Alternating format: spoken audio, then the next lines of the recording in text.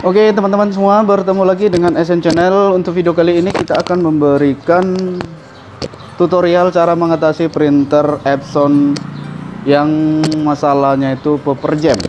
Jadi biar teman-teman semua tahu Untuk permasalahan printer yang seri L Yang sering permasalahannya itu yaitu paper jam Banyak eh, banyak permasalahan yang mengakibatkan printer untuk jenis seri L ini mengalami peperjam. Jadi nanti saya akan kasih tahu satu persatu buat teman-teman semua di rumah apa-apa aja permasalahan yang sering terjadi pada printer Epson jenis yang seri L yang mengalami peperjam, mengakibatkan peperjam maksud saya. Ada beberapa permasalahan yang mengakibatkan printer Epson ini sering peperjam. Jadi terkadang banyak yang mengatakan bahwasannya printer Epson peperjam itu pada umumnya mengatakan itu permasalahannya hanya saat sebuah potongan kertas ataupun sesuatu benda kecil yang nyangkut pada roll penarik kertas jadi mengakibatkan paper jam. Sebenarnya tidak, bukan hanya itu aja. Yang mengakibatkan printer Epson untuk seri L itu paper jam. Banyak hal yang mengakibatkan ini paper jam ataupun general error. Ada beberapa permasalahan yang sering terjadi. Selain dari kertas nyangkut ataupun benda-benda kecil yang sering menyangkut pada printer. Jadi di sini saya akan mengutarakan satu persatu buat teman-teman semua di rumah apa-apa aja permasalahan yang mengakibatkan Epson seri L itu general error ataupun yang biasa disebut dengan paper jam. Oke, ini saya akan kasih tahu satu persatu buat teman-teman semua di rumah. Oke, teman-teman, untuk untuk kali ini kita memberikan contoh printer Epson yang seri L itu untuk tipe L120 yang di mana ini printernya permasalahannya itu paper jam.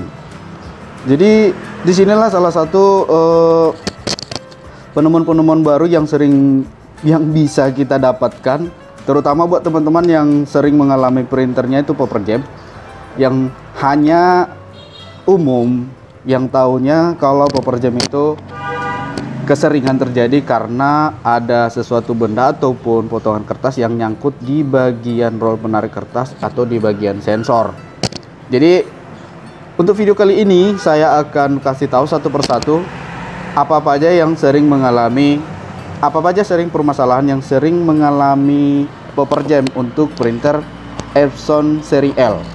Jadi untuk kali ini untuk yang pertama, untuk yang pertama kali seperti yang terjadi sering ataupun yang umum terjadi itu printer Epson seri L yang mengalami paper jam itu salah satunya itu adalah potongan kertas yang masuk ataupun nyangkut di bagian roller penarik kertas. Itu yang pertama. Jadi caranya itu kita tarik, bersihkan ataupun buang dengan cara menggunakan sesuatu benda atau jepitan untuk membuang potongan kertas ataupun benda yang nyangkut ke dalam printer. Oke, yang kedua itu paper jam bisa terjadi akibat sensor kertas yang ini. Teman teman bisa lihat ya mungkin agak kurang jelas nih. Ini ada sensor kertas yang biasa di, seperti ini yang warna hitam. Teman-teman bisa perhatikan di printer kalian. Ini. Itu biasanya itu mungkin pernya putus. Di sini saya tunjuk nih ada per kecil mungkin kurang jelas ya tapi teman-teman bisa nanti lihat ada gambar saya buat. Pernya ini yang mungkin putus ataupun lepas atau bisa jadi sensornya patah. Nah, jadi itu bisa mengakibatkan paper jam. Itu biasanya terjadi tidak bisa menarik kertas. Oke? Okay? ataupun mungkin menarik kertas terkadang bisa terkadang tidak gitu. Oke okay, yang ketiga Permasalahan yang sering terjadi pada printer Epson seri L yang mengalami paper jam. Yang ketiga itu biasanya itu terjadi di di sini ruler karet ini, ruler yang kecil yang di bawah yang ini. Ruler kecil yang bawah itu tidak berjalan. Dalam arti tidak berjalan itu sebenarnya ada pengait seperti per kecil itu untuk penahan daripada rudal penarik kertas yang bawah itu biasanya patah. Jadi caranya kalian bongkar ini buka dari bawah. Itu biasanya itu dibalik dari tabung pembuangan tinta ataupun tabung recycle tintanya. Itu itu berada di sana yang ini. Kalian buka itu bersihkan kalian bisa lihat di video kita ada tutorial cara memperbaiki ini mengalami printer yang mengalami general error ataupun paper jam oke yang berikutnya printer yang mengalami paper jam itu diakibatkan bisa jadi uh, bisa jadi diakibatkan karena ini uh, ruler penarik kertas atas yang ini. Teman-teman bisa lihat ini yang sering terjadi juga. Ini sering juga terjadi. Ini lepas dari dudukan. Yang ini. Ah yang ini. Ini sering juga terjadi lepas dari dudukan biasanya hal seperti ini bisa lepas dari dudukan itu diakibatkan karena ruler penarik kertas yang bawah itu patah. Jadi secara otomatis printer itu menarik banyak kertas. Saat menarik banyak kertas akhirnya ini kedorong rule penarik kertas yang di atas mengakibatkan ini uh, tuas yang menahan ini. Atau ini biasanya sebenarnya remnya ya bisa dibilang ini rem bahasa umumnya. Ini rem ataupun penahan dia lepas lari memaksa. Akibatnya dia lari dari dudukan. Oke? Okay? oke okay, yang berikutnya itu uh, yang mengalami yang bisa mengakibatkan printer Epson seri L itu paper jam. Bisa juga itu diakibatkan uh, dorongan ataupun home catering ini macet. Terkadang bisa terkadang tidak. Itu diakibatkan karena salah satunya seperti permasalahan yang sekarang ini adalah motornya ini ya ini yang mengakibatkan akibat yang mengakibatkan printer ini paper jam. Terkadang eh, eh, maksud saya ini jarang ya, ini sangat jarang sebenarnya nggak terlalu sering mengalami permasalahan motor dinamo ini yang bermasalah. Jadi ini dinamo CR, namanya dinamo CR. Dinamo CR itu adalah eh, dinamo keriknya, dinamo kerik namanya itu. Eh, biasanya ini digunakan kegunaannya, kegunaan ini untuk menggerakkan rumahan catering. Untuk menggerakkan rumahan catering, jadi posisinya di sini seperti ini. Jadi ini kegunaannya untuk menggerakkan rumahan catering. Tetapi ini bisa kenapa bisa rusak? Itu diakibatkan mungkin sudah aus dan tanda-tandanya sangat jelas sebenarnya teman-teman bisa lihat tanda-tanda eh, dinamo CR ini kerusakan itu salah satunya itu ini apabila kita putar seperti ini dia agak macet, agak berat, tidak seperti yang semestinya. Dia harus harusnya ringan.